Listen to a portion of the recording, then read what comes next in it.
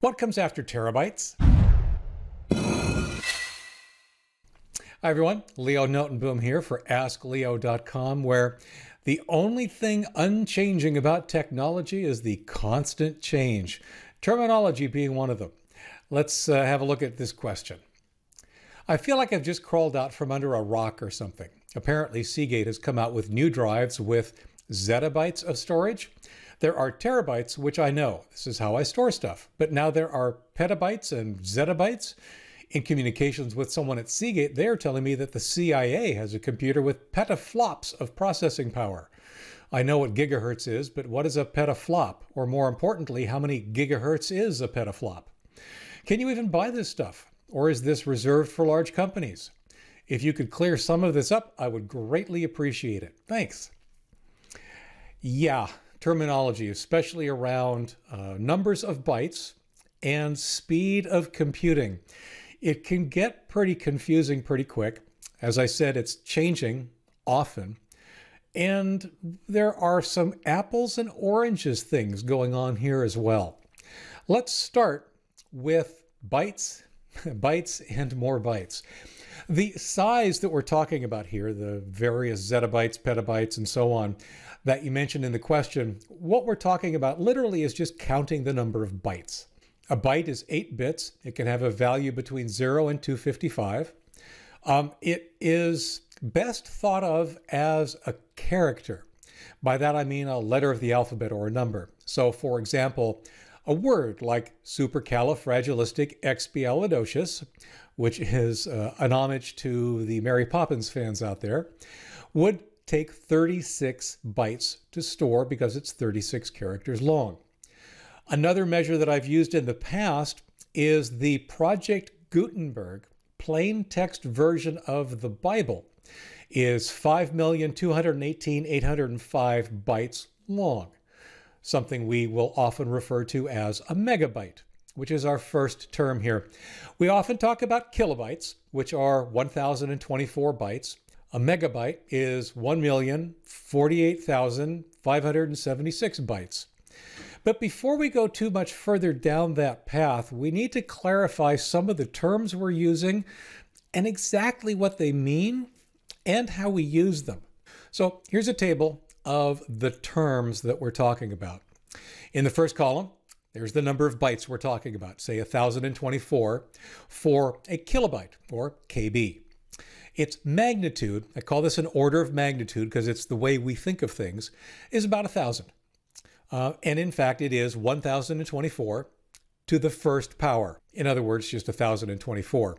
The power thing will become important here in a minute. The controversy or the confusion is that in fact a kilobyte technically doesn't mean 1024. Technically, it means a 1,000 which is one of the reasons things like disk space, for example, can be represented as one thing when it's actually another. Uh, when I say kilobyte, am I meaning 1024 or am I meaning 1000? Depends on the context. The correct name is a kibibyte with a B instead of an L. That's 1024. No confusion. But, and I won't go down the rest of that column, but if you need to be very specific um, and with no chance for misunderstanding, then kibibyte is what you want to mean 1024. Like I said, in reality, in practice, the kilobyte is what we tend to use in the computing context to mean 1024. And from a conceptual point of view, you and I tend to think of it as about 1000. About gets a little bit more inaccurate the further we go along here. So we've talked about a megabyte, 1,048,576 bytes. Its magnitude is a million, and it's 1,024 bytes squared. So it's 1,024 times 1,024, or 1,024 to the second power. A gigabyte, roughly a billion bytes, is 1,024 to the third power. A terabyte, which is a trillion bytes, and that's probably the largest one you're seeing on hard drives right now, and it's 1024 to the fourth power. Now, the terms that are on the horizon, the terms that you were asking about, These are the terms we're going to start slowly seeing more and more of as disk capacities continue to increase over time. The petabyte is a quadrillion bytes. The exabyte is a quintillion bytes. A zettabyte, a sextillion bytes, and a yottabyte, a septillion bytes, or 1024 to the eighth power. So you can see in this table exactly what those numbers mean. The left-hand column will show you literally what these numbers mean in terms of decimal numbers that you and I might read. You notice I stopped trying to read them because they are just too long. But these are the terms that are coming after terabyte. These are what they mean. And conceptually, this is the order of magnitude you should be concerned with when you're actually just sort of thinking about how big these things are. So, as I record this, the largest drive I can find online for personal use, in other words, something that I could buy for my own computer here, is around 18 terabytes. That's not uncommon. I kind of sort of expect things to get bigger over time. And to be clear, that is a traditional spinning hard disk magnetic media type of disk. The largest SSD right now, I'm told, is around 8 terabytes. Uh, it's also fairly expensive. More commonly, uh, for example, the ones I've got installed in my machine are like a couple of terabytes.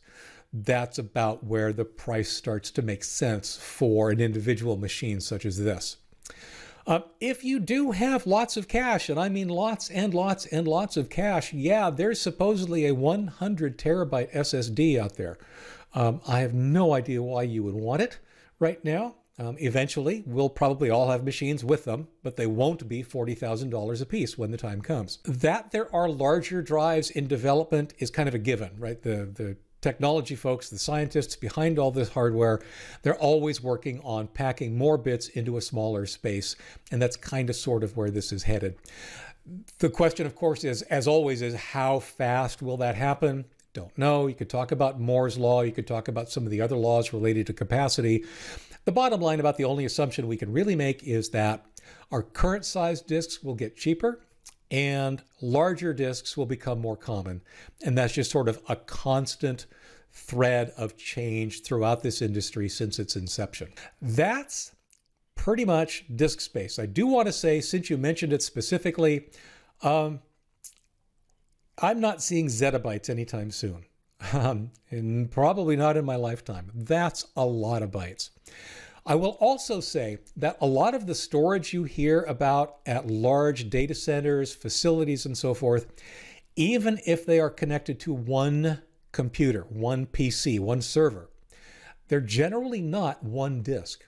More often than not, they are arrays, sometimes arrays of many, many, many different disks or many, many different um, um, instances of the same disk. So, for example, you might find uh, a data center server with 180 terabytes, but what they will have is uh, 10 18 terabyte drives. That's typically the most cost effective way to get that kind of storage. And there's also some redundancy, um, um, error recovery, and resiliency built into designing that way instead of putting all of your bytes on a single disk. That's disk space. Now we have to talk about flops and hertz. This is about speed. Uh, flops and hertz are, in fact, two different ways to measure speed. They are, I'll just say, loosely related. There is not a conversion from one to the other. And we'll see why that is in a minute.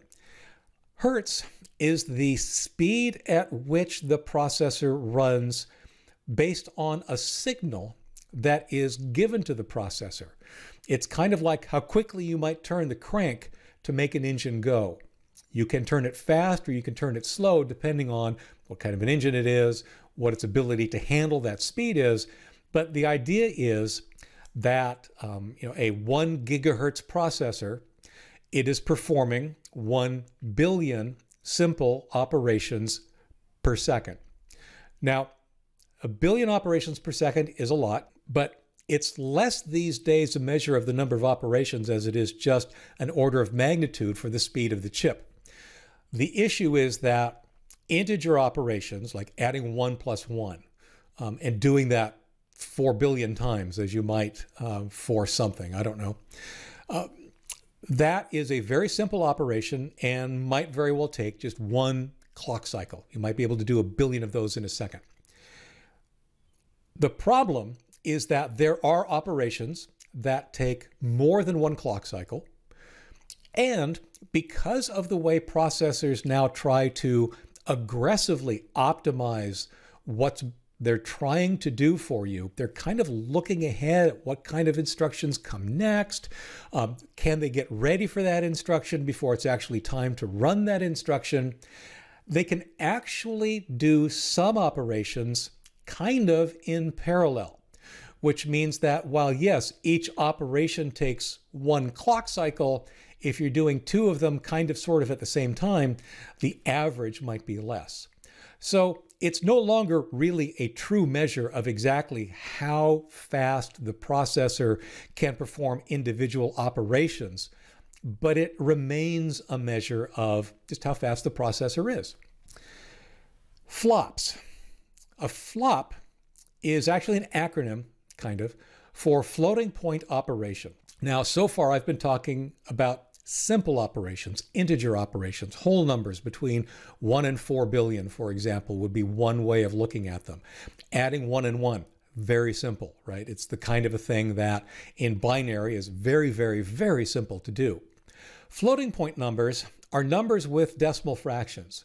So uh, 3.1 is a floating point number.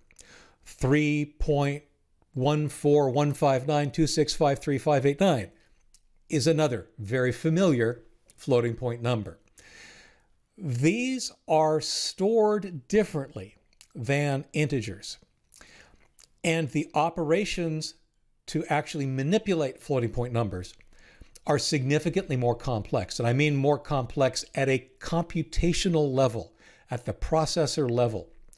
So floating point operations are important, an important measurement for a lot of different types of computer use because a lot of scientific work, a lot of, of all sorts of different things actually rely on floating point numbers rather than just doing everything in simple integers. So flops is a very important measurement for exactly how fast a computer might be in those kind of applications. The reason there's not a simple conversion is because the implementation of how a processor actually performs floating point operations varies from one processor to the next. One might be a very complicated and expensive processor able to perform floating point operations extremely quickly, one might be a less expensive processor, but one that might be use less power, be more appropriate for a laptop, whatever.